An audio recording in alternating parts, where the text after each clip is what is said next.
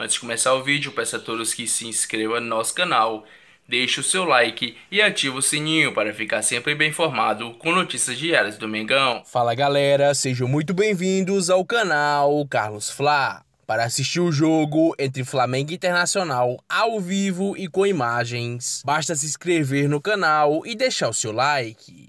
O link do jogo estará na descrição e fixado nos meus comentários. Flamengo e Internacional se enfrentam nesse domingo às 18h15, horário de Brasília, no Maracanã pela 15ª rodada do Campeonato Brasileiro, enquanto os rubro-negros, donos da casa, em quinto lugar com 24 pontos e dois jogos a menos, tentam encurtar a distância da ponta. Os colorados têm a missão de se distanciar da zona de rebaixamento. O Inter está em 15º colocado com 15 pontos. O Flamengo está invicto com Renato Gaúcho. 7 vitórias em 7 jogos, com 25 gols marcados e 3 sofridos. Sem vencer a 3 jogos, o Inter está apenas 2 pontos na frente do São Paulo e precisa pontuar para não chegar ainda mais próximo da zona de rebaixamento. Os clubes duelaram até a última rodada na edição 2020 pelo título